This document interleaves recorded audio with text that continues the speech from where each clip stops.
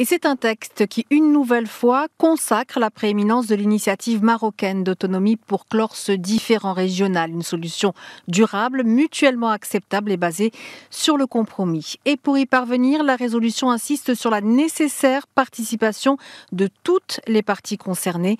Zakaria Aboudahab est professeur de relations internationales à Bruxelles. Évidemment, il y a le, Royaume du Maroc qui est le, le défenseur de, de, sa cause euh, sacrée, mais les pays euh, de la région limitrophe, et notamment l'Algérie, bien entendu accessoirement la Mauritanie et, évidemment le, le front du, du Polisario. Euh, le Conseil de sécurité convie tous les, toutes les parties d'adopter une approche réaliste. Réaliste donc, et pour faire avancer une solution, la résolution insiste sur l'importance pour toutes les parties d'élargir leur position. Zakaria Aboudahab. Explorer les voies originales et inventives pour sortir de cette impasse politique. Il va falloir mettre la pression sur l'Algérie notamment afin qu'elle change de position euh, surannée euh, est dépassée parce que la situation même humanitaire dans les camps de Tindouf est catastrophique. Et cette nouvelle résolution réitère avec force sa demande d'enregistrement des réfugiés des camps de Tindouf. Enfin, sur la méthode, le Conseil de sécurité appelle à s'appuyer sur les progrès et le cadre du précédent envoyé personnel,